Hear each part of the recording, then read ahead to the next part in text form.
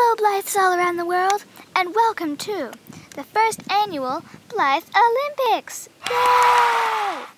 Today, I'm going to be reporting on the tennis. We, today, we have two players, Poppy and Daisy. Let's take a look at them. So, Poppy, are you excited about today's big game? I'm really excited, but I'm also really nervous because I have the weight of the whole country on my shoulders. I'm sure you'll be fine. You look like you've been into tennis a long time. How long have you been playing? I've been playing most of my life.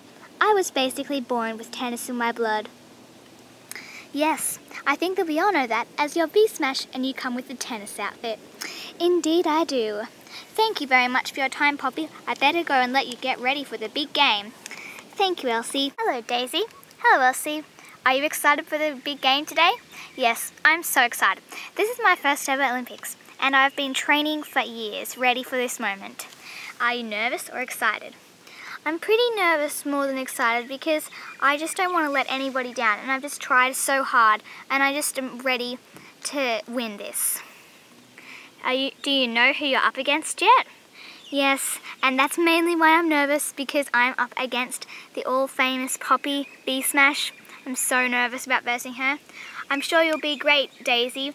Good luck. Thank you, Elsie. The moment we've all been waiting for. They've practiced. They have trained hard. They've been through blood, sweat, and tears, ready for this moment. Are you ready? Yeah! On the right side of the tennis court, we have Daisy, who's warming up. On the left side of the court, we have Poppy, who's also warming up ready. Let the games begin! Game's getting so intense! Look at all the supporters we have! Even this giant cat!